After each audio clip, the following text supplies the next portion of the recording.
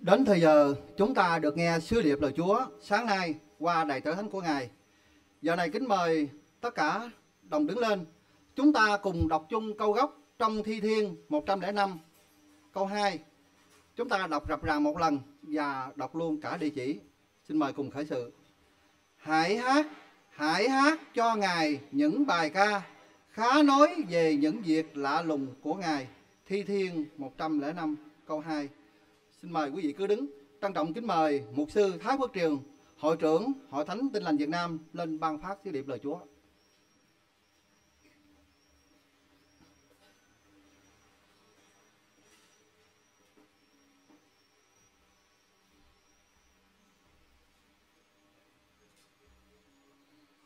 Xin mời quý vị đồng an tọa.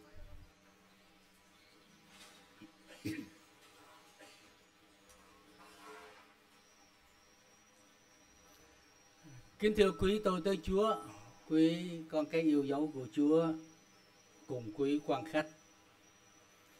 Sáng nay chúng ta rất vui hiệp nhau lại đây để dự lễ cảm tạ Chúa vì đấng đã thành lập hội thánh của Chúa tại đây 10 năm qua. Nhưng không phải chỉ 10 năm mà chúng ta lấy cột mốc từ khi hội thánh tại đây được thành lập nhưng tất cả những gì phía trước đó, trong dòng chảy của lịch sử đất nước, của hội thánh, chúng ta thấy rất rõ công việc Chúa đã làm. Không phải Chúa dựng nên con voi rồi Ngài mới làm nên cỏ cho nó ăn, mà Ngài làm nên cỏ rồi mới dựng nên con voi đây là trình tự mà chúng ta biết Đức Chúa Trời có kế hoạch đời đời của Chúa từ trước vô cùng và cho đến đời đời, công việc Chúa cũng không đổi thay. Chúng ta những người chỉ sống một thời gian ngắn trên đất này, những công việc trước đó, và sau khi chúng ta qua đời, những công việc tiếp theo, chúng ta cũng không biết hết nhưng những gì chúng ta biết cũng đủ để chúng ta ngợi khen Chúa. Sáng hôm nay chúng ta hòa lòng với các ban hát để hát tôn vinh, chúc tụng, ngợi khen Chúa xứng đáng cho danh Ngài. Hãy hát, hãy hát cho Chúa những bài ca và khá nói, mọi việc lạ lùng của Chúa.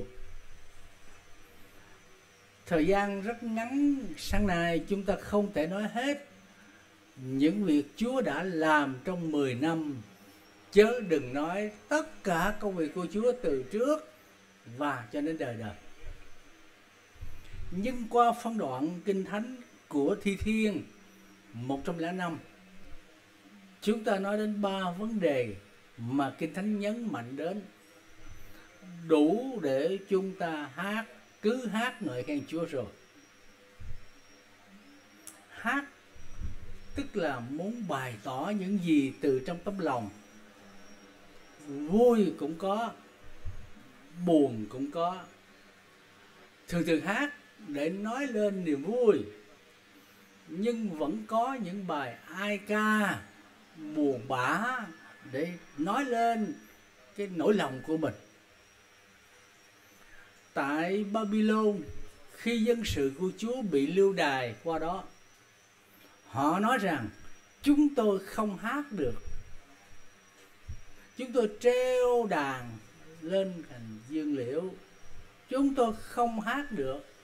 Người ta bảo chúng tôi hát, cũng không hát được. Họ buồn thảm quá, phải không?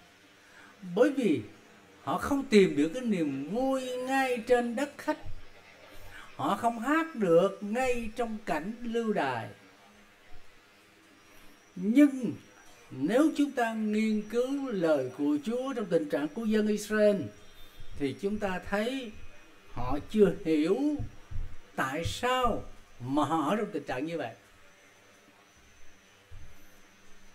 Họ phải hát để nói lên những gì ở trong hoàn cảnh của họ đang gặp phải là do Chúa cho phép. Như ông Gióp đã nói, Chúa ban cho, ngợi khen Chúa. Chúa lấy lại, ngợi khen Chúa bằng nhau. Vấn đề ngợi khen Chúa phải là luôn luôn, nhưng những đổi thay là được hay mất là bất thường. Sự ngợi khen Chúa không bị chi phối bởi những bất thường.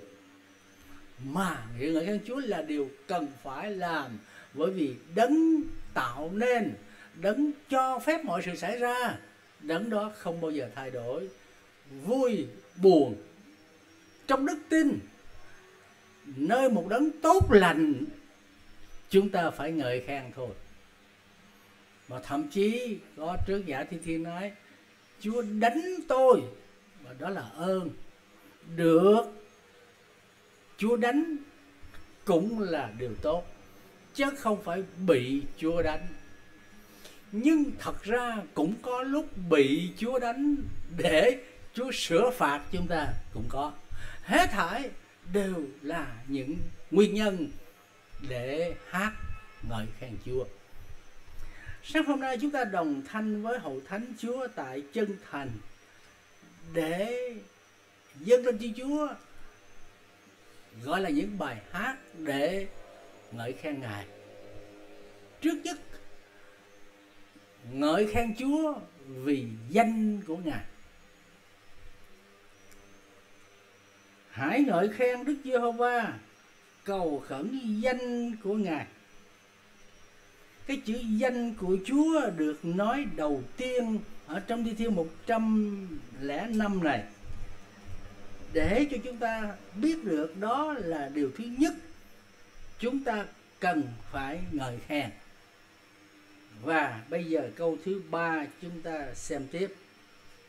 Hãy khoe mình về danh thánh ngài.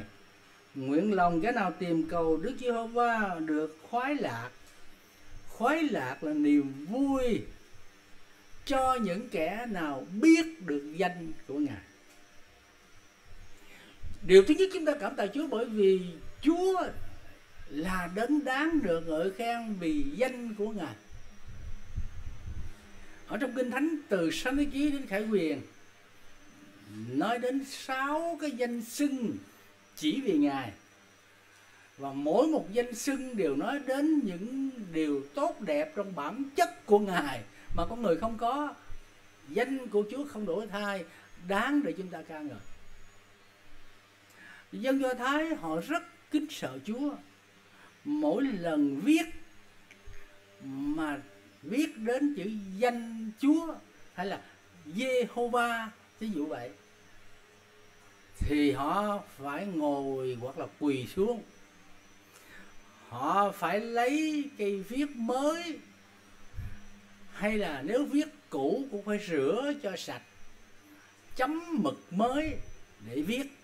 Khi viết đến danh của Chúa ví dụ Đức Giê-hô viết mới, mực mới, cung kính quỳ xuống để viết đến danh của Chúa. Vì vậy trong một cái điều răn Chúa đã cấm là không lấy danh Đức Giê-hô-va làm chơi, không thể đùa giỡn được. Một đứa con, nó buồn vui về những việc của cha nó. Nó xin cha nó cho nó một ngàn, hai ngàn đồng gì đó. Cha nó có thể cho, có thể chưa cho, có thể không cho. Không phải vì cái đó mà nó nói khác đi bây giờ cha có cho con tiền không? Không cho con kêu bằng thằng nha. Không có nói như vậy được. Cha nó đó là một điều phải tôn trọng. Dù thực tế, cha đã đối xử với nó như thế nào. Nhưng trong kinh thánh cho chúng ta biết, chính danh của Chúa là danh đáng được tôn quý, vinh hiển quyền phép cho đến đời đời mọi danh đều phải không thể nào so với danh của Chúa. Mọi thần, dù người ta tôn trọng đến đâu, không sánh được với Chúa là chân thần, phải không? Mà là chân thần duy nhất. Danh của Chúa là Đức Chúa Trời ở trong kinh thánh đây là danh đầu tiên từ sách cái đồng một là Elohim. Đấng thiết lập, đấng sáng tạo. Rồi danh của Chúa gọn hơn. Adonai là Chúa. Chúa có nghĩa là chủ tể, nắm cả bính quyền. Đức Chúa Trời nghĩa là thiết lập, là sáng tạo. Danh của Ngài là Jehovah nghĩa là đấng tự hữu và hằng hữu chỉ chừng đó trong cựu ước ba danh xưng này để đủ nói lên rằng không thần nào sánh được. Và đây là danh đáng được chúc tụng ngợi khen. Từ trước vô cùng và cho đến đời đời. Rồi bây giờ qua đến tân ước, có ba danh xưng. Danh xưng thứ nhất cũng là đức chúa trời, nghĩa là danh chúa là thần. Thần là vô hình, thần là không thấy được thần không đông đo, đếm như là những gì thuộc về vật chất. Vì đức chúa trời vô hạn, vô hình. Và trong tân ước cũng có danh gọi là chúa, cũng giống như chúa ở trong cựu ước là chủ tể muôn loài, trên mọi giáo chủ vị nhân, thánh hiền. Và độc đáo nhất là ở trong tân ước có một danh, đó là cha đức chúa trời toàn năng là cha. Đây là một di xưng rất là độc đáo. Chưa ai dám gọi thượng đế chí cao, đức chúa trời toàn năng vô hình, vĩ đại là cha cả. Nhưng đức chúa trời cho phép những kẻ tin nhận chúa giêsu biến đổi được trở thành con của ngài, được gọi ngài là cha, được gọi ngài là a bà đấy là những thiết độc đáo và hết sức ngọt ngào gần gũi. Đức chúa trời chi cao như ở trong cựu ước, nhưng ngài cũng là đức chúa trời rất gần ở trong tân ước, trong mối liên hệ huyết thống bởi đức chúa giêsu christ cứu chuộc. Thế thì chúa danh ngài đáng ngợi khen. Đó là điều thứ nhất. Cho nên sáng nay chúng ta hát ca ngợi chúa với nội dung khác nhau, nhưng tất cả không phải để chúc tụng ai trong vòng chúng ta, mà dâng lên Chúa đến danh Ngài đáng được tôn vinh. Phải không? Dù từ 10 năm qua trước đó nữa và sau này nữa, có nhiều người đến rồi đi góp phần lớn và nhỏ, nhưng đó là những công cụ ở trong tay của Chúa. Và Chúa đấng tạo dựng nó muôn loài Ngài có thể ban cho chúng ta mọi thứ, Kể cả ban cho chúng ta chính con của Chúa. Ngài không tiếc gì, Nhưng Ngài không nhường vinh hiển của Chúa cho bất cứ một ai. Không ai có thể mạo danh của Chúa được, Không ai có thể nhắc mình cao hơn danh của Chúa được. Cả sa tăng cũng phải đánh hạ xuống trở thành ma quỷ Khi nó muốn nhắc mình lên bằng với Chúa. Cho nên đây là điều nhất mà sáng nay chúng ta nhắc lại, chúng ta xác định dầu mọi sự như thế nào. Dầu có lúc thăng hay là trầm, lúc khó hay là thuận lợi, buồn hay vui, những điều đó sẽ cứ tiếp tục thay đổi.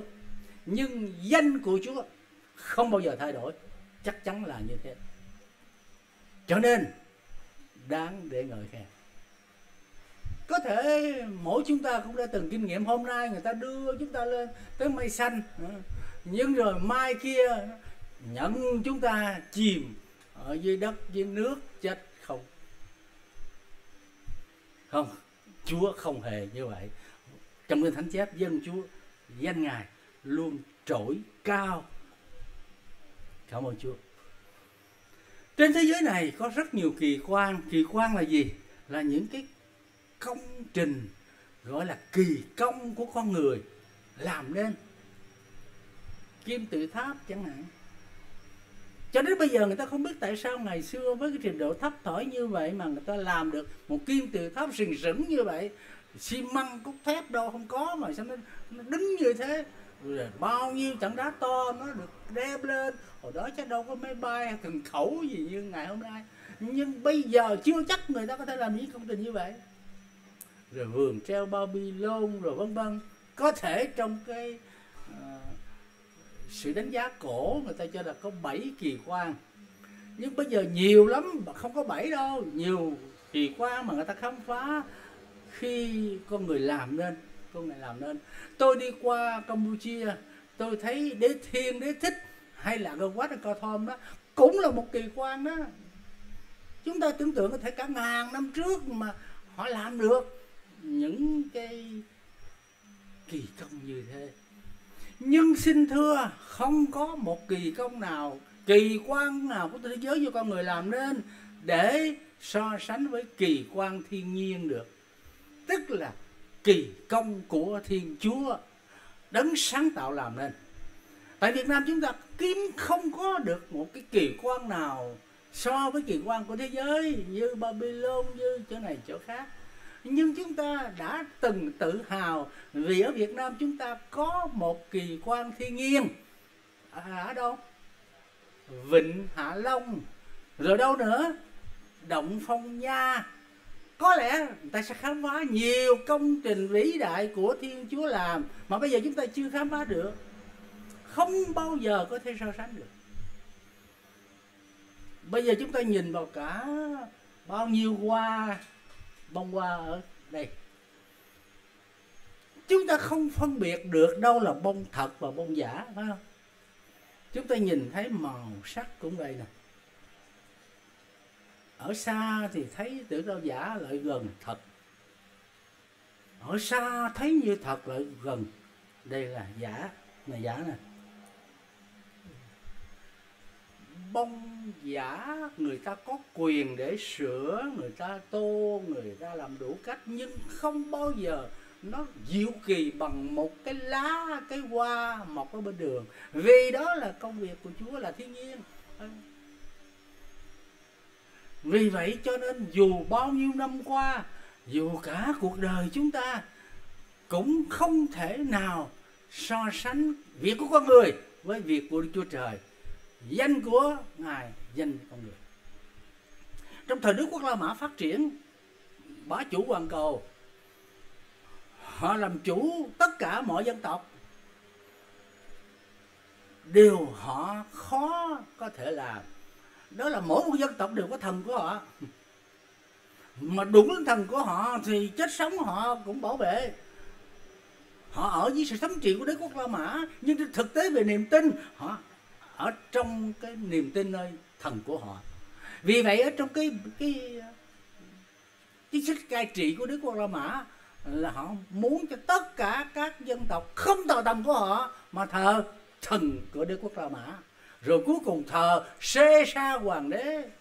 Nói đến danh Xê Sa, tức là vua của Đức Quốc La Mã, ai cũng khiếp sợ. Họ muốn cho tất cả đều phải tập trung về Xê Sa hoàng đế, tập trung về thân của Đức Quốc La Mã để họ dễ cai trị nhưng không làm được việc đó. Vì vậy cho nên khi nói đến danh của Chúa, nó không phải so với các thần của đế quốc La Mã, với Xê Sa hoàng đế hay là Babylon ở tại Ai Cập được vì ngài là đấng trỗi cao, đấng sáng tạo, còn muôn vật là vật tỏ tạo mà thôi. Hồi nhỏ đó, chúng ta là cha mẹ, khi mà nói con cái nó không nghe đó chúng ta dùng cái gì đó đi để hù nó, phải không? Mày ngủ không? Không ngủ tôi cái ông kẹ bắt mày, nó nghe ông kẹ cái tiếng như ghê quá, thôi nó ngủ cho rồi. Nghe đến ông kẹ cái nó sợ, mà thật sự nó không biết ông kẹ là gì. Rồi ngày nay người ta cũng dùng nhiều cái quy của ai đó. Mày sợ không? Tao kêu ông cúm nay cái từ hết ông kẹt cái ông cốm gì đó, nó đủ thứ cái gì đó để cho người ta sợ. Bởi vì nó hơn những cái danh bình thường. Nhưng xin thưa, không danh nào đáng để chúng ta kính sợ tôn vinh hát. Nếu không phải là danh đức giê hô va cho nên trong thi thiên này nói chúng ta, hãy hát hãy hát những bài ca cho ai, cho chúa hát bài ca để dâng lên Chúa. Chỉ Chúa mới xứng đáng, bởi danh Ngài là thánh, không thay đổi. Nơi này danh Chúa cũng được Chúa đặt và cũng được ca ngợi trong suốt 10 năm qua. Bây giờ điều thứ hai. Chúng ta hát hát ngợi khen Chúa vì công việc của Ngài. Từ danh Chúa bây giờ chúng ta đến cái công việc của Chúa. Công việc của Chúa là lớn lao, là lạ lùng, là đời đời. Ở đây Kinh Thánh nói đến cái phương diện lạ lùng của công việc Chúa đó. Chúng ta xem lại câu thứ nhất hãy ngợi khen đức giê-hô-va, cầu khẩn danh ngài, rồi khá truyền ra giữa các dân công việc ngài. Công việc của ngài là gì, thưa quý đầy tớ con cái chúa? Công việc của chúng ta thì chúng ta biết, có khi kể không hết nữa. Còn công việc của chúa từ trước vô cùng cho đến đời đời, làm sao kể hết, phải không? Nhưng cái công việc của Chúa mà ở đây nói đó là công việc lạ lùng. Câu thứ hai, phần B. Khá nói về các việc lạ lùng của Ngài. Lạ lùng là gì? Là kỳ diệu, không tưởng tượng được, vượt lên trên mọi sự thông biết trí não của con người. Lạ lùng là trên cả siêu nhiên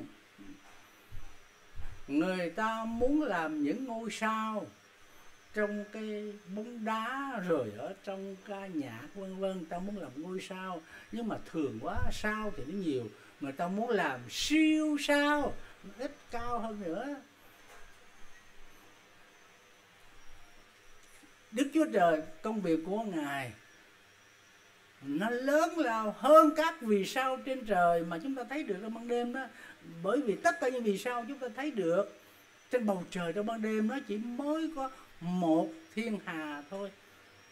Một ngôi sao đó nó có thể là một mặt trời như mặt trời của hệ thái dương, trong đó chúng ta quay chung quanh. Mà trên thế giới bao la này có vô số những thiên hà như thế. Thì chúng ta biết Chúa vĩ đại đến đâu, công việc của Chúa là như thế nào? Không bao giờ, bây giờ trái đất nó quay qua quay một ngày kia nó mệt quá, nó quay khác hướng, nó ra vào cái hành tinh kia, nó nát tan không có chuyện đó. Nó chỉ là kiểm soát từng việc từng việc từ ngôi sao và trên đầu chúng ta ngày đến từng sợi tóc. Công việc của chúng nó diệu kỳ. Cái chữ lạ lùng có nghĩa là diệu kỳ, không ngờ vượt quá trí hiểu bây giờ chúng ta nghe tiểu sử nói đến 10 năm qua cũng là điều diệu kỳ không ai có thể làm được. Công việc của chúa theo như giáo lý thần học dạy các sinh viên trong năm đầu tiên đó, thì một sinh viên phải biết công việc của chúa là như thế nào. Có bốn điều cần phải nhận biết. Khi nói đến công việc của chúa thứ nhất công việc của chúa là sáng tạo tức là dựng nên từ chỗ không có trở thành có. Công việc của chúa là bảo tồn, nghĩa là từ cái chỗ có để giữ cho còn. Thứ ba, công việc của chúa là điều chỉnh những người, những vật đi lệch xa ý muốn của chúa trở lại thực hữu là giúp đỡ thần hữu là đức chúa trời giúp đỡ để muôn loài sống đúng mục đích của cuộc sáng tạo nhưng điều thứ tư rất quan trọng khi nói đến công việc của chúa chúa có nguyên chỉ. Nguyên chỉ như là ý định, kế hoạch đời đời từ trước khi sáng tạo bảo tồn và bày tỏ thần hữu. Nghĩa là không có điều gì có thể thay đổi. Công việc của chúa luôn luôn được hoàn thành, không bao giờ bị gian dở với cái mắt chúng ta nhìn, chúng ta thấy dường như thôi rồi, không thành công. Nhưng không bao giờ đức chúa trời để cho công việc của ngài bị gian dở. Đức chúa trời cho phép cái con virus corona, covid 19 gì, nhỏ xíu không thấy được, nó hoàn thành cả thế giới. Nhưng mà xin hỏi nói có khó gì đối với chúa, nếu chúa không cho phép chúng ta nên phân biệt giữa chúa cho phép với ý muốn của chúa. Ý muốn của chúa luôn luôn tốt, lành đẹp, lòng và trọn vẹn. Nhưng có lúc ý muốn con người không tốt, nhưng có khi chúa cho phép. Rồi sau đó, con người sẽ lấy cái hậu quả mà mình đã sai lầm. Dân sự chúa xin một vua là sao lơ tại sao họ xin? Vì họ mót trước như các dân tộc khác. Chúa buồn lắm sao quên buồn lắm. Bởi vì họ bỏ chế độ thần quyền để chuyển sang chế độ nhân trị. Đức chúa trời cai trị họ qua tiên tri, qua thầy tế lễ. Quá là thiên liêng, phước hạnh. Họ không chịu, họ muốn để con người cai trị. Chúa không đẹp lòng, nhưng chúa cho phép rồi cả dòng lịch sử của dân Israel, phía bắc, cả bừng của Judah phía nam, hứng chịu bao nhiêu những cái sai lầm của những vị vua đưa họ vào trong tội lỗi. Nhưng Đức Chúa Trời sau đó có chương trình của Ngài. Vân vân. Vì vậy tôi có thể nói chung một lời, Đức Chúa Trời có nguyên chỉ là kế hoạch tốt lành cho công việc của Chúa. Không được gì có thể thay đổi phá hỏng được. Và công việc đó là sáng tạo để có bảo tồn, để còn điều chỉnh để đúng đó là nguyên tắc. Xin Chúa giúp cho chúng ta hãy tiếp tục đọc Kinh Thánh và học biết công việc của Chúa. Và bây giờ sáng hôm nay chúng ta đâu có thì giờ để nói hết. Chúng ta chỉ nói trong 10 năm qua. Và tôi cũng không có nắm hết được và cũng lắng nghe cái tiểu sử vừa đọc khi nãy. Đó là tổng quát, chắc lọc lại chừng đó thôi. Phải không? Tiểu sử của cuộc đời chúng ta từ khi lọt khỏi lòng mẹ đến bây giờ chúng ta kể cũng dài dài mà. Nhưng đây là công việc của Chúa. Qua từng đời sống của con dân Chúa những người được biến đổi những người gặp Chúa những người được Chúa giúp đỡ để tuyển những con dân Chúa lấy những người từ thế gian tội lỗi trở thành thánh nhân và biệt riêng họ thờ phượng Chúa tại đây với 70 rồi 100, 200, 300, 1, 2 ngàn. Đó là chương trình của Chúa trong tương lai đó là công việc của Chúa công việc lớn lao, công việc đời đời, công việc đã hoạch định, công việc luôn luôn hoàn tất và công việc của Chúa không bao giờ thay đổi hay bị phá hủy hãy tin điều đó để tiếp tục hát hát cho Chúa những bài ca về công việc lạ lùng của Ngài. Điều thứ ba, điều cuối cùng. Chúng ta hát ngợi khen Chúa không phải chỉ về danh của Ngài, về công việc của Ngài và ở đây nói đến một từ nữa là quyền phép của Ngài. Hãy cầu Giê-hô-va và quyền phép Ngài. Hãy tìm kiếm Ngài luôn luôn. Cái chữ quyền phép này chúng ta hiểu như thế nào? Để chúng ta ca ngợi Chúa. Đức Chúa Trời tạo dựng nên thế giới muôn loài khác với người thợ mộc làm nên một cái bàn, cái tủ, cái ghế. Đấy không? Ông thợ mộc làm nên cái bàn, cái tủ, cái ghế không phải là ông tạo nên bởi vì gỗ không phải do ông tạo nên ông cũng chẳng làm nên được một cái đinh nào. Tất cả chỉ phối hợp và ông kết nó lại để hình thành một cái bàn cái tủ gì đó. Nhân gỗ rồi đinh ốc lon, cái gì đó, nó có sẵn hết à. Nhưng Đức Chúa Trời quyền phép làm nên thế giới vĩ đại này từ chỗ không có, trở thành có. Và quyền phép của Chúa vượt chỗ cao hơn cái sự cố gắng quyền phép của con người.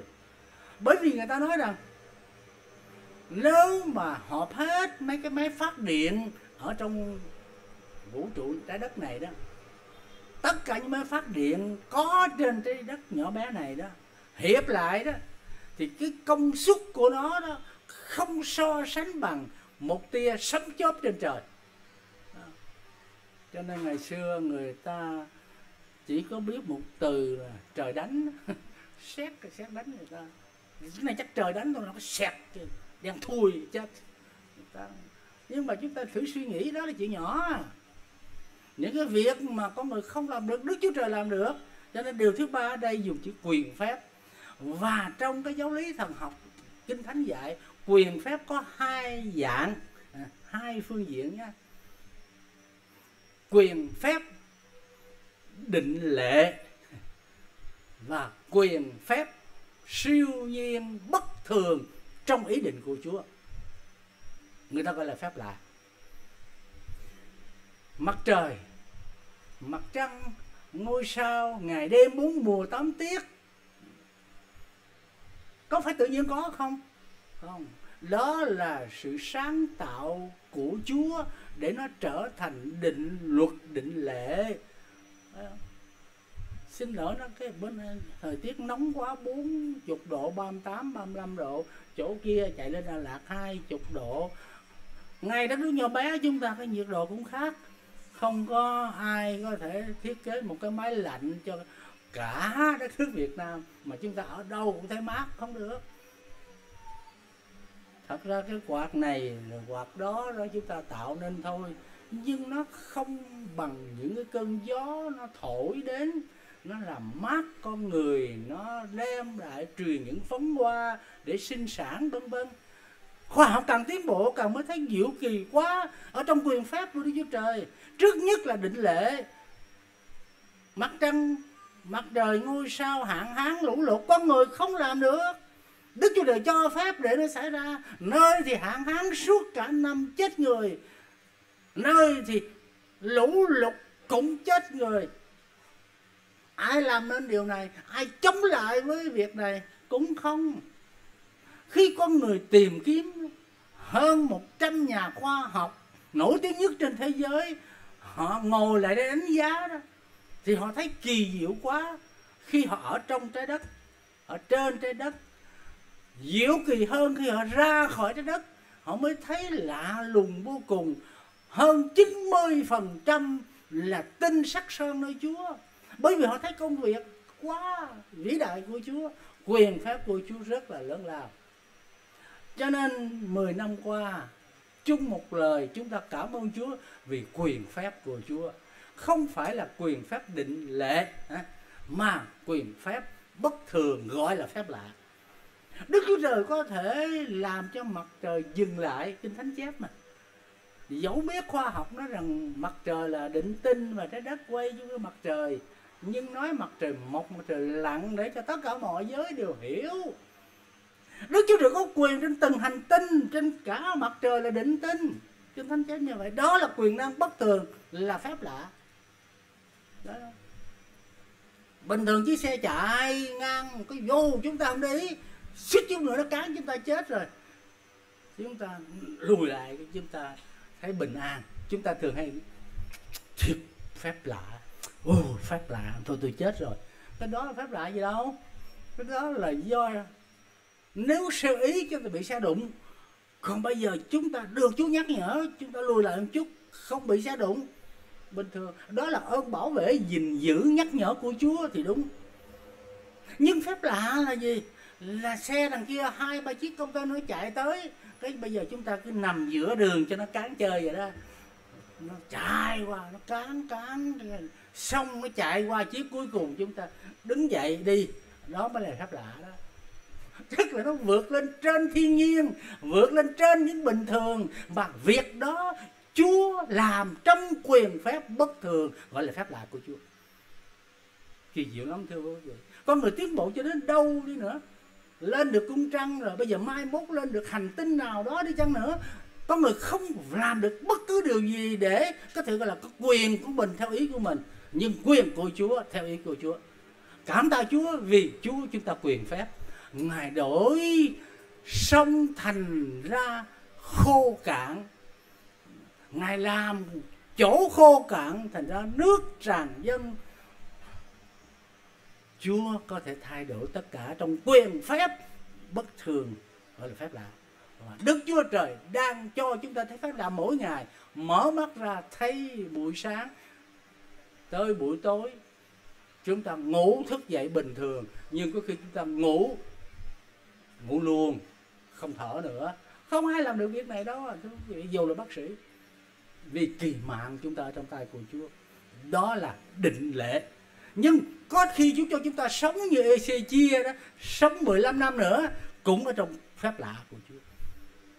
Tôi tin rằng ba điều thôi, nếu nói là nói tới này, mấy ngày cũng không hết trong trong thi thiên này. Nhưng chung một lời là Chúa chúng ta, đáng để chúng ta ca ngợi, chúc tụng mà ở đây gọi là ngợi khen Chúa, ngợi khen danh Đức Giê-hô-va như một bài hát dâng lên cho Chúa xứng đáng đấng chúng ta cảm tạ sáng nay vì danh của Ngài, vì công việc của Ngài, vì quyền phép của Ngài không thay đổi. Xin Chúa nâng đỡ khích lệ hội thánh Chúa tại chân thành và xin Chúa cũng khích lệ tất cả mỗi chúng ta, những người có dịp góp phần trong công việc Chúa đó đây. Nhưng công việc Chúa trong ai của chúng ta đâu. Chúa vẫn là danh thánh, không đổi thay. Công việc của Chúa vẫn từ từ hoàn tất cho đến ngày cuối cùng. Và quyền phép của Chúa luôn ở với hội thánh. Cho nên Chúa phán với hội thánh đầu tiên, những môn đồ chờ đợi Chúa. Thất vọng lắm khi Chúa về trời họ chưa hiểu hết chưa các 500 người chứng kiến Chúa về trời đó nó có suy nghĩ giống nhau đâu nhưng rồi một điều họ cần biết đó là họ phải chờ đợi lời hứa của Chúa là Đức Thánh Linh sẽ giáng lâm và quyền phép của Chúa sẽ khiến họ tiếp tục công việc của Chúa phải không? Đến lành được rao giảng từ Israel, xứ Judea, xứ Samari cho đến cùng trái đất. Nhưng cái quyền phép giáng trên các ngươi thì không một trở lực nào có thể ngăn trở công việc của Chúa. Nhưng không có quyền phép của Chúa, tức là Thánh Linh ngự trị thì chúng ta chẳng làm được việc gì dù là nhỏ bé còn khi có quyền phép của Thánh Linh ở cùng thì chúng ta sẽ làm được những việc phi thường mặc dầu chúng ta rất là tầm thường nguyện Chúa ban phước cho hết thảy mọi chúng ta để chúng ta biết phải làm gì nhất là đồng thanh với hội thánh Chúa tại chân thành. Ngợi khen Chúa của chúng ta. Ít lắm như thế. Mong rằng trong những ngày tháng sắp tới, nếu Chúa chưa ta làm có thể 5 năm nữa, chẳng hay là 10 năm nữa, chúng ta sẽ thấy công việc của Chúa không phải chỉ chừng này, phải không? Bởi vì đó là không phải là công việc của mục sư nhiệm chức quản nhiệm hay là các chấp sự, mà công việc của Chúa còn chúng ta chỉ là công cụ Chúa dùng mà thôi. Hết thải hãy ngợi khen Chúa. Amen.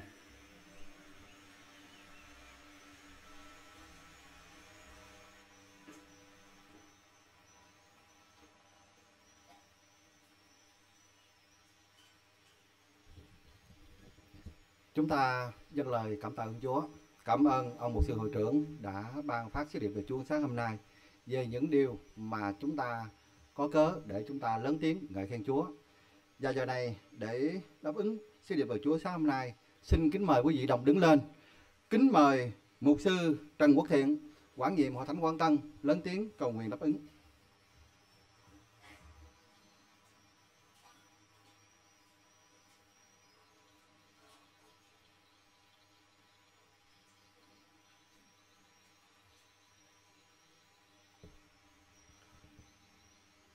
Kính xin quý hội thánh, mọi người chúng ta đến với Chúa trong sự cầu nguyện.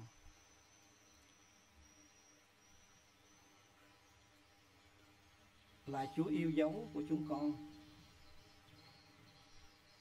Chúng con ngợi khen Chúa vô cùng. Vì ở trên trời cao kia, nơi đất thấp này, và ngay cả bên dưới đất kia không danh nào đáng để chúng con ngợi khen.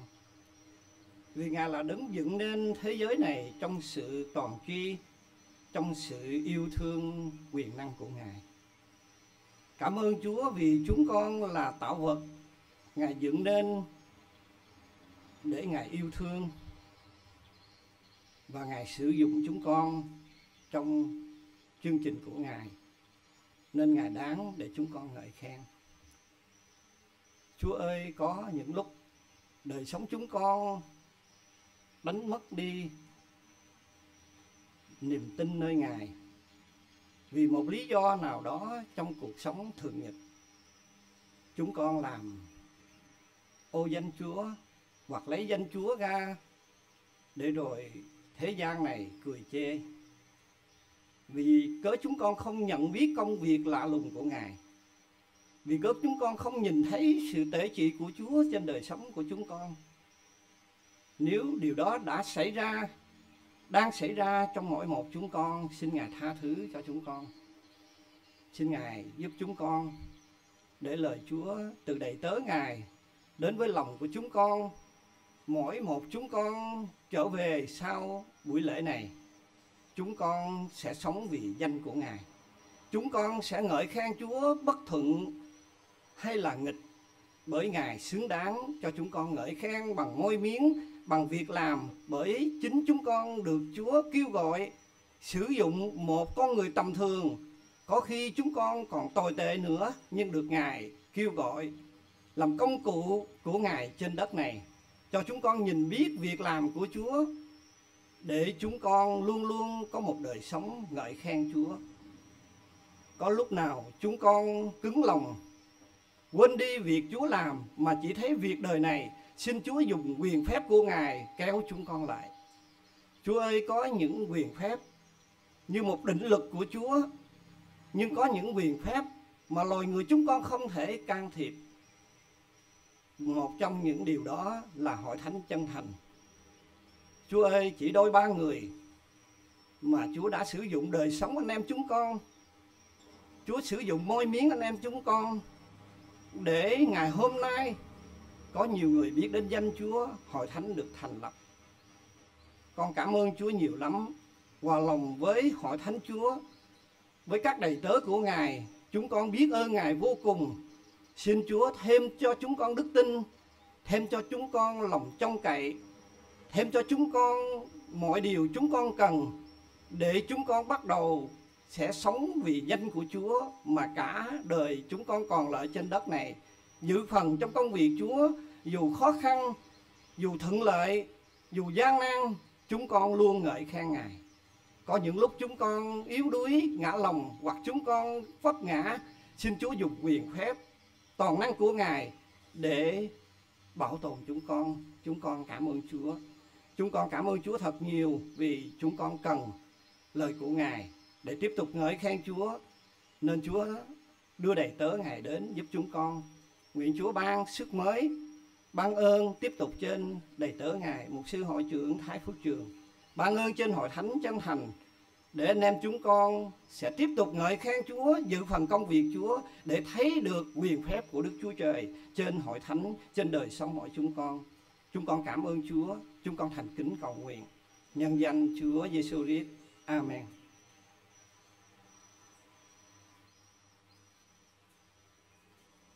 Xin kính mời quý vị đồng bạn tọa. Bao tâm hồn đang xúc động Nhớ mơn muôn ơn lành như biển rộng, ôi ơn Ngài quá láng lai, chúng tôi chân thành khắc ghi hoài. Đó là điệp khúc của lời thánh ca số 676, bài ca cảm tạ sẽ do ban hát Hội Thánh Chân Thành tôn vinh Chúa giờ này. Xin mời ban hát Hội Thánh Chân Thành.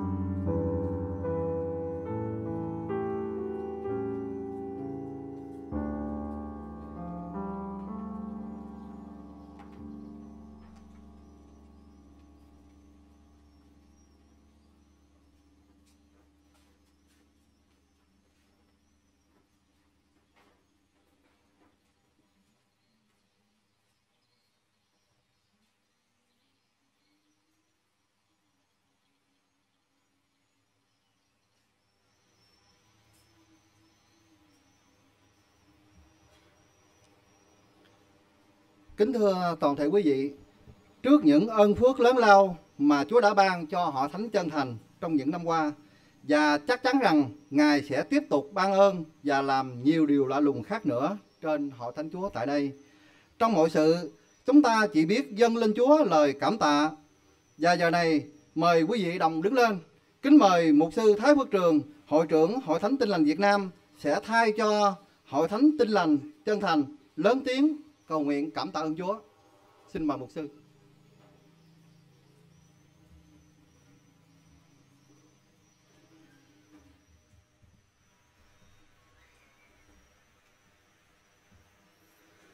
Chúng ta hiệp ý để cầu nguyện.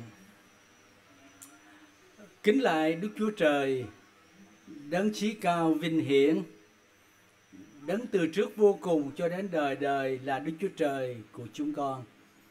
Ngài là Chúa thành tín không thay đổi. Danh của Chúa còn đến đời đời. Việc của Chúa rất lớn lao lạ lùng và quyền phép của Chúa cũng không thay đổi, thi thố trên hội thánh Ngài. Cảm ơn Chúa sáng nay chúng con hiệp nhau lại đây cùng với con dân Chúa tại chân thành. Một hội thánh được Chúa thành lập 10 năm qua. Ơn Chúa bày tỏ trong sự dẫn dắt. Chúa có ban phước cho từng bước từng bước để hội thánh Chúa được hình thành.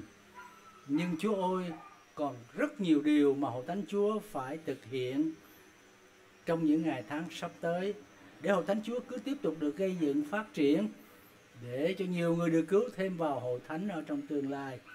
Vì vậy chúng con hiệp nhau lại đây để cảm tạ Chúa về những việc Chúa đã làm trên hội thánh Chúa và chúng con tin rằng đấng đã khởi làm việc lành trên mỗi chúng con Ngài sẽ làm trọn cho đến ngày Chúa chúng con trở lại. Chúng con cảm tạ Chúa vì điều này xứng đáng cho Ngài. Cảm tạ Chúa vì Ngài đã dùng những tô tớ con cái của Chúa như những công cụ để cho hội thánh Chúa được có như ngày nay. Và chúng con cũng tin rằng Chúa tiếp tục sử dụng các tôi tớ con cái Chúa để làm trọn công việc Chúa trên đất trước ngày Chúa chúng con tái lầm Chúng con xin Chúa ban phước cho đầy tớ của Chúa quản nhiệm tại đây, cho ban chấp sự, cho toàn thể quý cụ, quý bà, anh chị chúng con hết thảy. Để giàu nhiều người nhưng hiệp nhau như thể một người hướng về một mục đích làm vinh hiển danh Chúa. Và Chúa giúp cho để hậu thánh Chúa càng tăng trưởng thêm lên trong đời sống thuộc linh. Chúa tiếp trợ mọi nhu cầu ở trong đời sống thuộc tế của từng con cái Chúa và công việc Chúa tại đây để sẽ làm những điều cần thiết hơn nữa và cất một nhà thờ mới trên đất mới như dự tính. Chúng con tin rằng Đức Chúa Trời đấng đã đang và Ngài sẽ làm ở trong chính quyền phép lớn lao của Chúa. Chúng con hiệp nhau lại đây trong buổi sáng nay để xin Chúa nhận nơi lòng chúng con. Anh em chúng con tại đây muốn dâng lên Chúa một lễ cảm tạ, một của lễ xứng đáng từ tấm lòng của chúng con. Chúng con tin rằng Chúa đang biết hết mọi sự. Xin Ngài giải quyết những nan đề nào còn có. Xin Chúa tiếp trợ mọi nhu cầu nào của Hồ Thánh. Để rồi trong tương lai chúng con có dịp đến đây sẽ thấy những việc lớn lao hơn, lạ lùng hơn nữa mà Chúa làm trên hội thánh Ngài. Chúng con cảm ơn Chúa. Chúng con tin rằng bởi quyền phép của Chúa, bởi đức tin của chúng con, lời cầu xin của chúng con dâng lên cho Chúa được Chúa nhậm để Ngài làm trỗi hơn những việc chúng con cầu xin và suy tưởng. Chúng con cảm ơn Ngài. Chúng con tin cậy Chúa. Chúng con hướng về Chúa, dân hội thánh Chúa tại đây trong tay Ngài chúng con hiệp ý thành kính cầu nguyện nhân danh Đức Chúa Giêsu Christ. Amen.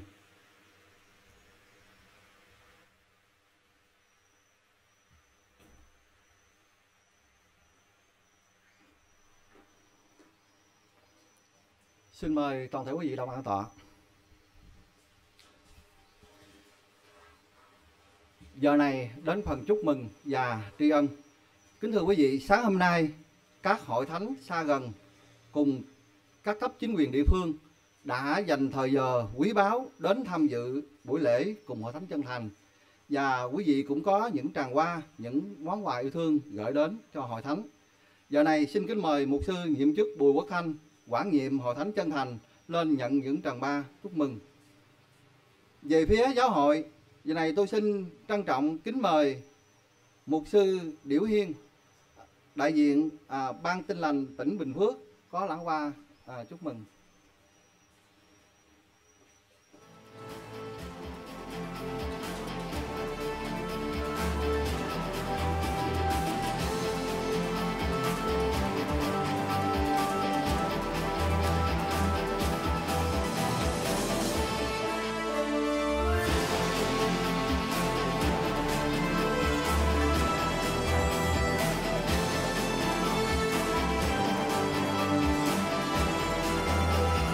Xin à, thay mặt cho ban đại diện tin nền tỉnh Bình Phước có lời chúc mừng đến mục sư nhiệm chức quản nhiệm hội thánh Sơn Thành cũng như ban chấp sự và quý con cái của Chúa tại Trân thành. À, chúng tôi ước ao rằng trong thời gian sắp tới là nhất là ban tôn giáo tỉnh Bình Phước và ủy ban nhân dân phòng nội vụ của thị xã Trân Thành cũng như lãnh đạo đảng ủy hội đồng nhân dân ủy ban nhân dân ủy ban mặt trận tổ quốc của phường à, Minh Long Trân Thành tạo điều kiện để sớm à, Trân Thành được thành lập chi hội chính thức hợp pháp giữa giao quyền và chính quyền. Đó là điều chúng tôi ước ao và trong thì giờ này ban đại diện chúng tôi cũng có à, cùng với mục sư ủy viên mục vụ có lãng hoa. Chúc mừng đến mục sư nhiệm chức quản nhiệm và hội thánh của Chúa nhân ngày. Lễ cảm tạ 10 năm thành lập hội thánh. Cầu xin Chúa ban ơn càng thêm ơn trên hội thánh của Ngài trong thời gian sắp tới.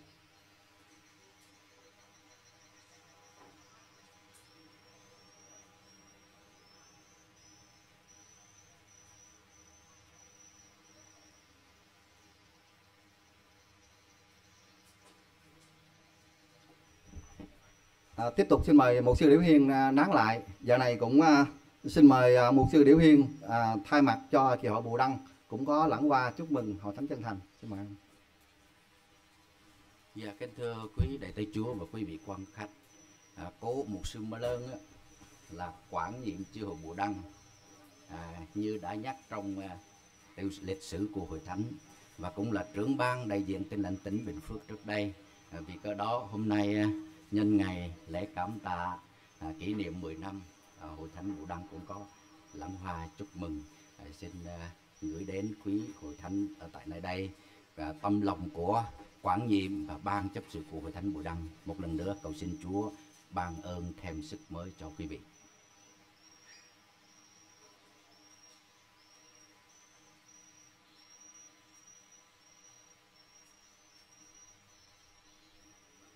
À, xin à, cảm ơn à, ông à, mục sư à, Điểu Hiên à, cũng như tạ cái lãng hoa của hội thánh Bù Đăng đã gửi đến cho hội thánh chân thành. À, và giờ này xin mời à, đại diện à, hội thánh Đồng Sòi à, cũng có một lãng hoa chúc mừng hội thánh chân thành.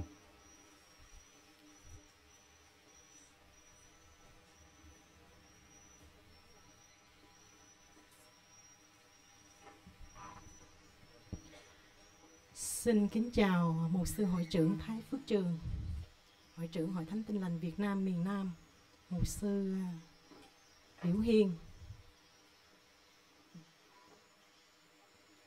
trưởng ban Tin lành tỉnh Bình Phước và cùng toàn thể quý tôi con Chúa và các vị khách mời. À, cảm ơn Chúa vì tôi được đến đây để chung lòng cảm tạ Chúa với con dân Chúa tại si hội Minh Long chân thành. Và cảm ơn Chúa đã cho tôi được dự phần ở trong công việc Chúa tại đây cùng với con cái Chúa tại Đồng Sòi trong những giai đoạn hết sức là khó khăn. Và chúng tôi đứng đây, chúng tôi suy niệm một điều rằng chỉ có Chúa mới làm được.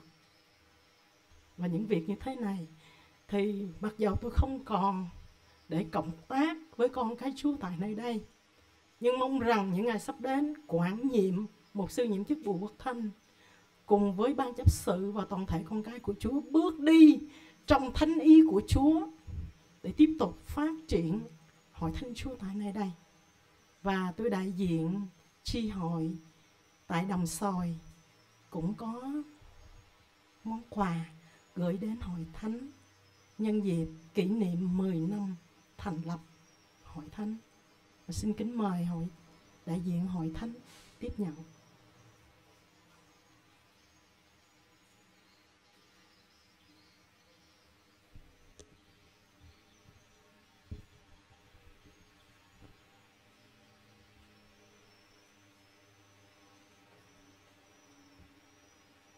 Xin à, cảm ơn nữ truyền đạo Hồ Trần Thị Dạ Dĩ, quản nhiệm chi hội Đồng Sòi à, cùng lãng qua chúc mừng. Giờ này về phía chính quyền địa phương, à, tôi xin mời đại diện đảng ủy, hội đồng nhân dân, ủy ban nhân dân phường Minh Long cũng có một lãng hoa để chúc mừng hội thánh.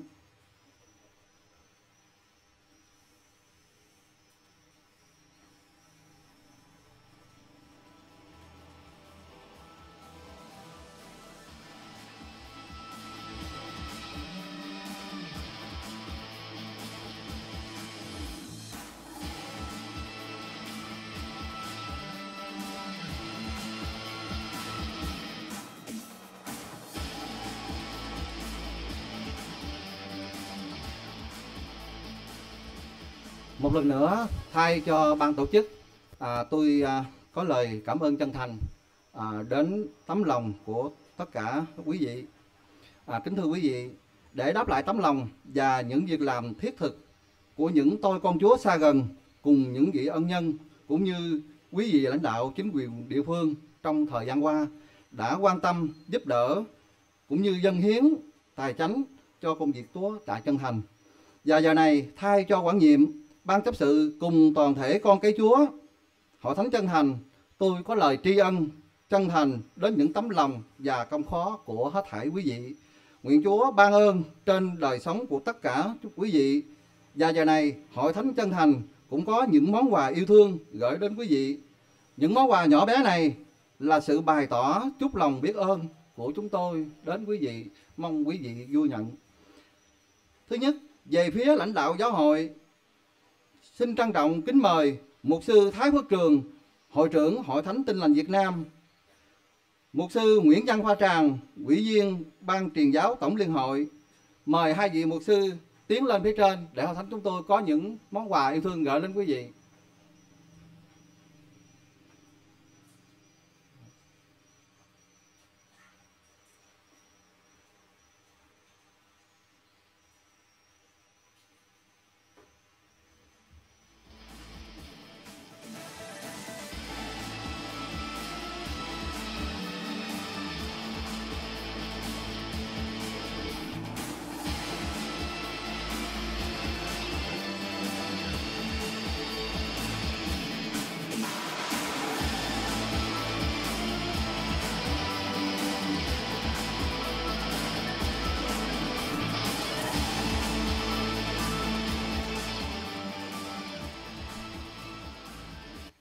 Giờ này hội thánh trân trọng kính mời mục sư Điệu Hiên, trưởng ban đại diện tinh lành tỉnh Bình Phước, mục sư Điểu Mơ Lê, mục sư Điểu Rút, mục sư Điểu Hạnh, mục sư Điểu Liên, Điểu Lương là ban viên ban đại diện tinh lành tỉnh Bình Phước.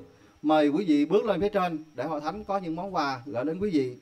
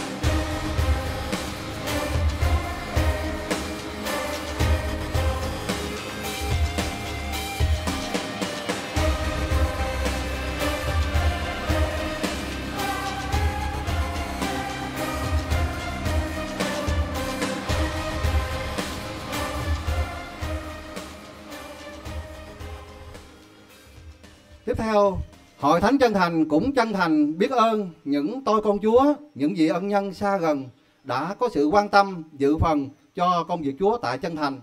Trước hết giờ này xin kính mời mục sư nhiệm chức Bùi Quốc Thanh là người có công khó trong việc lo các thủ tục xin mời đêm nhóm của những ngày đầu, đồng thời cho mượn nơi để nhóm lại và dự phần dân hiến rất nhiều cho công việc Chúa tại Chân Thành. Chúng tôi cũng mời nữ truyền đạo Hồ Trần Thị Dạ Dĩ đã có công khó từ Đồng Sồi đến Chân Thành để giảng lời Chúa cho hội thánh mỗi tuần trong thời gian dài của những ngày đầu thành lập điểm nhóm.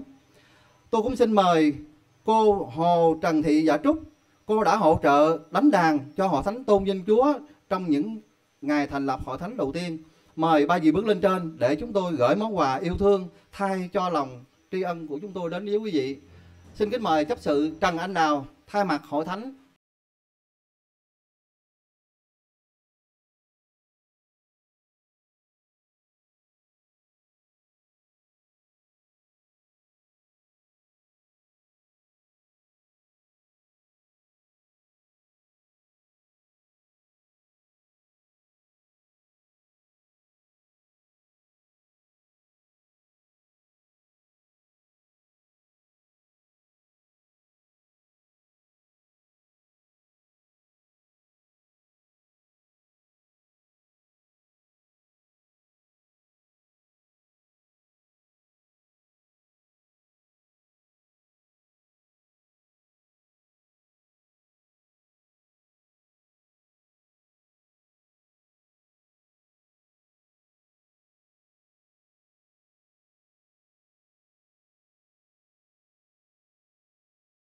Tiếp đến, hội thánh cũng nhớ đến những con cái Chúa đã dự phần hầu việc Chúa trong những năm tháng đầu thành lập điểm nhóm.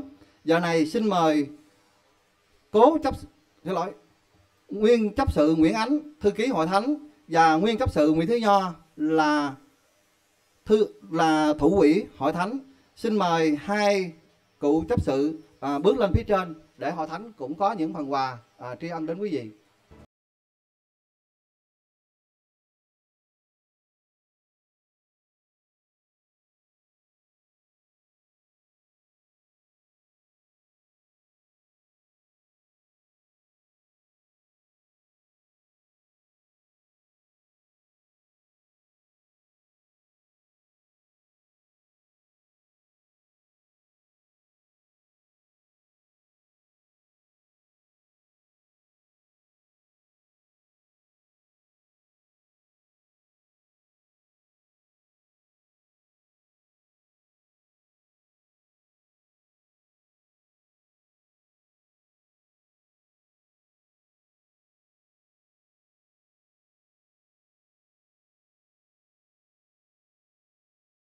Mục sư đã quan tâm hỗ trợ cho việc bồi linh hàng tháng của hội thánh cũng như dân hiến cho công việc Chúa tại chân thành. Giờ này trân trọng kính mời mục sư Đỗ Hữu Hoàng, mục sư Nguyễn Hoài Trân, mục sư Trần Quốc Thiện, mục sư nhiệm chức Trần Ngọc Công, mục sư Hồ Năng Quyền, nữ truyền đạo Hồ Trần Thị Dạ Thảo. Mời quý vị bước lên trên để chúng tôi có những phần quà tri ân đến quý vị.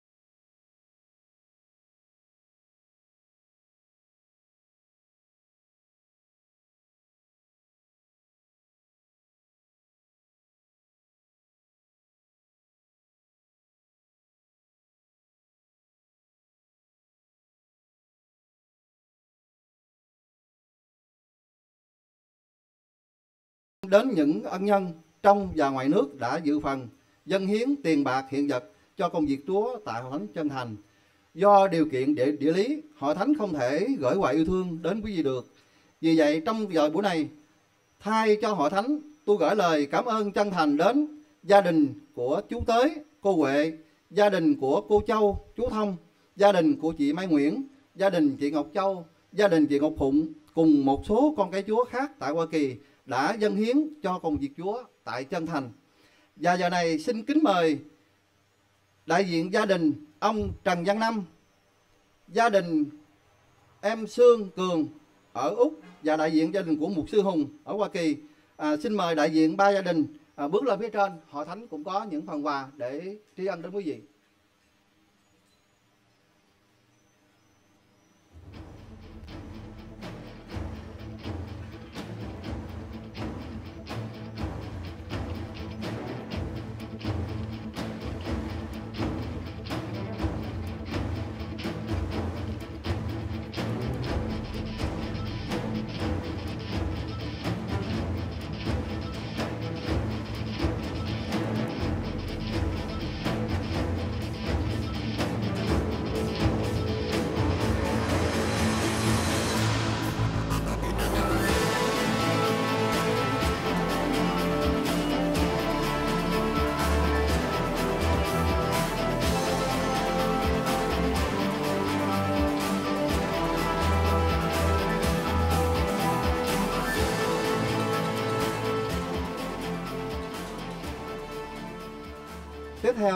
Về phía lãnh đạo chính quyền địa phương, Hội Thánh Chân Thành chân thành cảm ơn sự quan tâm, giúp đỡ của quý vị về mặt nhà nước. Các quý vị đã tạo điều kiện hết sức thuận lợi cho công việc Chúa tại Chân Thành hoạt động trong 10 năm qua. Giờ này, xin mời đại diện Đảng ủy phường Minh Long, đại diện Ủy ban Nhân dân phường Minh Long, đại diện Ủy ban Mặt trận Tổ quốc phường Minh Long và đại diện bí thư chi bộ khu phố 6 mời bốn đại diện bước lên trên để chúng tôi cũng có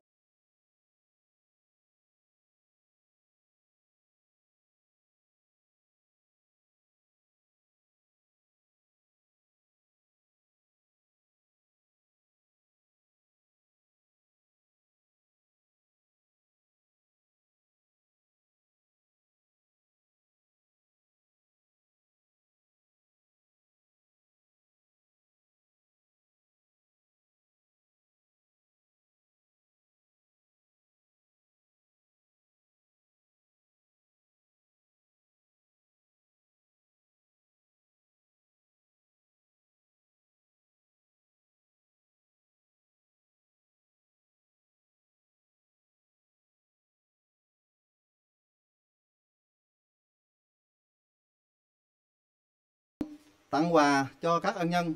Và giờ này xin mời mục sư nhiệm chức Bùi Quốc Thanh, quản nhiệm hội thánh chân thành sẽ có lời cảm ơn đến toàn thể quý tôn cây Chúa và quý vị khách quý. Xin kính mời mục sư.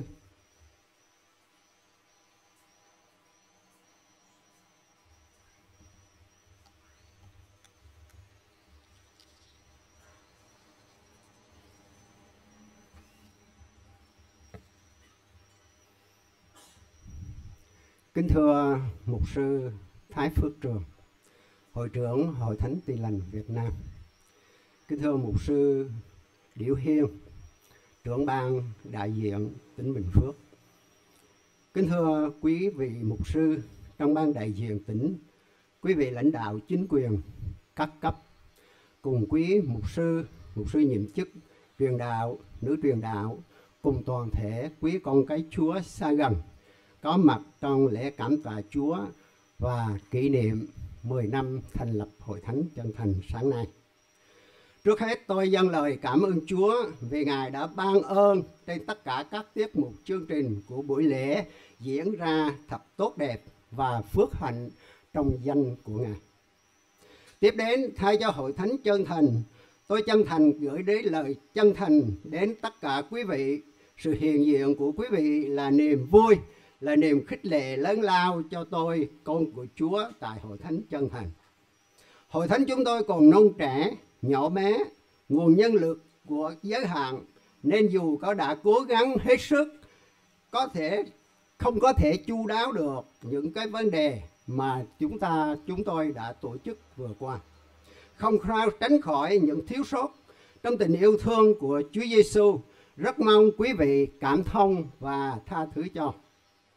Trong dịp lễ cảm tạ kỷ niệm thành lập năm 10 năm thành lập Hội Thánh Chân Thành sáng nay, thay cho Hội Thánh Chân Thành, tôi kính gửi đến tri ân đến một sư hội trưởng đã dành thời giờ quý báu đến làm chủ lễ và ban phát lời Chúa cho Hội Thánh.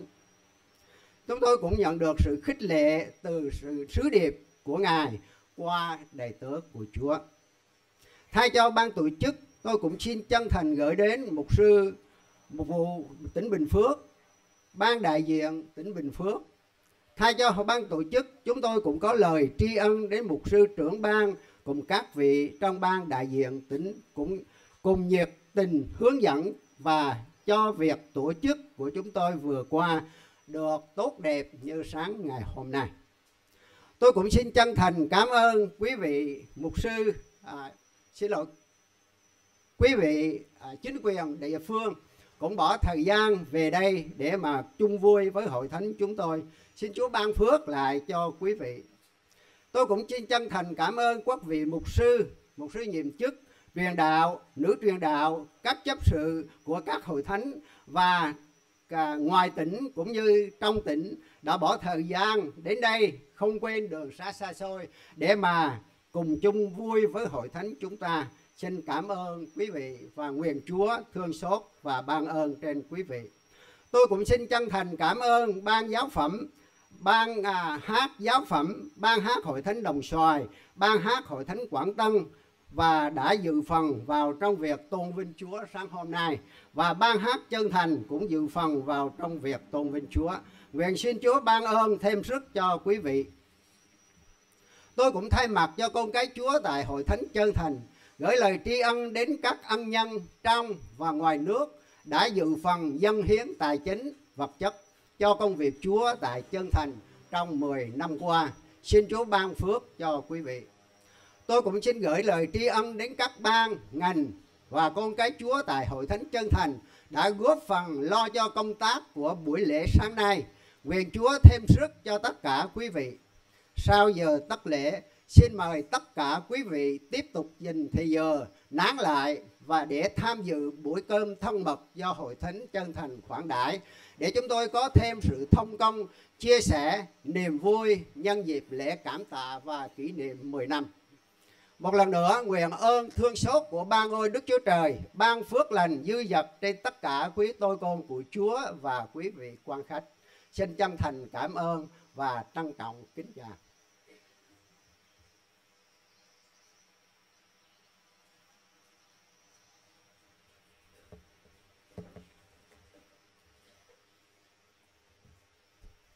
Giờ này bước vào phần tất lễ, xin kính mời quý vị đồng đứng lên. Chúng ta cầu nguyện chung, sau đó hát Thánh ca 23 tôn vinh chân thần và cuối cùng kính mời mục sư Thái Phước Trường, hội trưởng Hội Thánh Tin lành Việt Nam cầu nguyện chúc phước. Chúng ta cùng khởi sự. Lại cha chúng con ở trên trời, danh cha được tôn thánh, nước cha được đến, ý cha được nên, ở đất như trời. Xin cho chúng con hôm nay đồ ăn đủ ngày, xin tha tội lỗi cho chúng con, như chúng con tha kẻ phạm tội nghịch cùng chúng con. Xin chớ để chúng con bị cám dỗ, xong cứu chúng con khỏi điều ác. Vì nước quyền vinh hiển thuộc về cha đời đời vô cùng. Amen.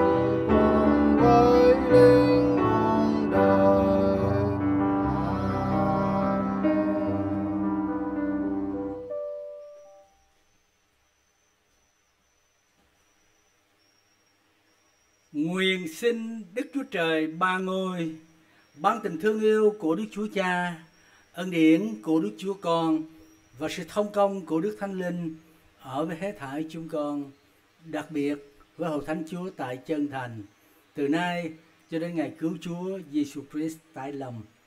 Amen.